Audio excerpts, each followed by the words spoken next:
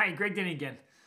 You know, as I've had the privilege of traveling around the world and meeting with wonderful people, I've been able to see their life, their economy, so to speak. You know, I've been in countries like Peru uh, or Guatemala that, uh, in a lot of ways, are struggling. There's there's great wealth, and then there's great poverty, like a big separation in their economy. And then you know, in the United States and in uh, Europe, you know, I've been on four continents, and it's it's been so fascinating to see what's available, what's working for people. Even Germany right now, where the economy is really strong at this time and even up in Alaska, where they have their own unique economy.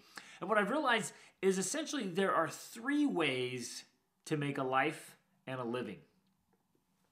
You know, a few years ago, I was sitting down with a friend, and he had recently graduated from law school.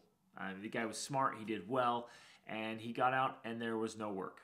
And so he'd had to get a job at a bank and was just barely scraping by with his wife and his children, just trying to make ends meet and, uh, with an advanced degree. And I thought, what's going on here? And I've seen that story over and over and over and heard it many times. And, and maybe you have too, or people with, with degrees, even advanced degrees, are, are having a hard time or you know trying to just get by making paying the bills.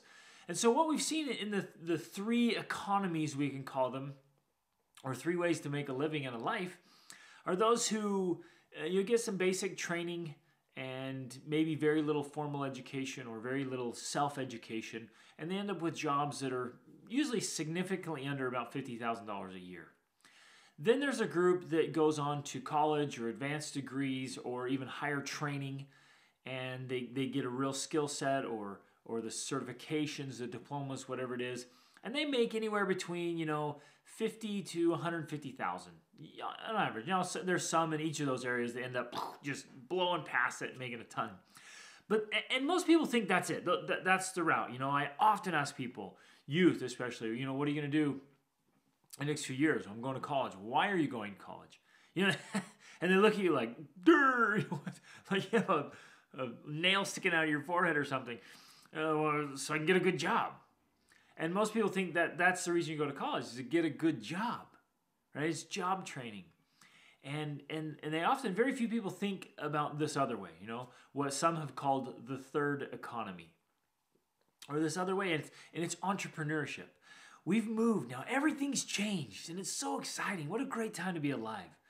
We've moved into a new time where it's the age of connection, it's the age of information.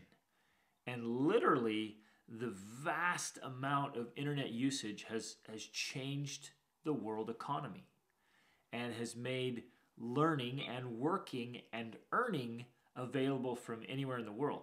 Now, I've worked from several different countries now doing my work, and, and as we've been out, it's been so wonderful to meet all these individuals and couples and families who are living or traveling all over the world working through the internet and earning an excellent income or sufficient for their needs, whatever they're, they're going after.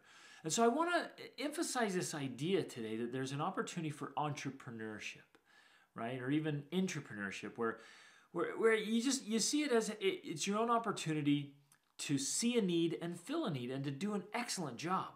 Um, please don't misunderstand me here. I am all about education.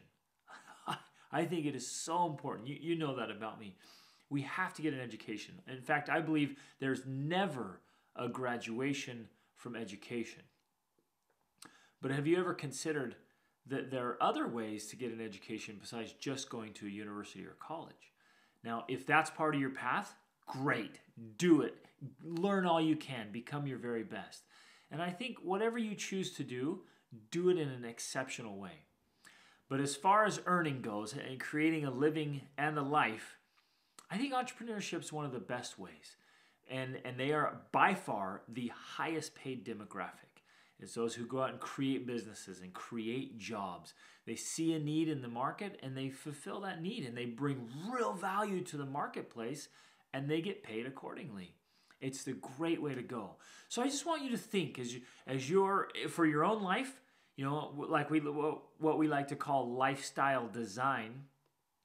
Is are you living the kind of life you want to live? Are you earning the kind of income you want to earn? If not, what are you going to do differently? How are you going to change? If you're raising children, you know, if you're a youth yourself, looking forward into that, what, what, which one of those paths you want to choose?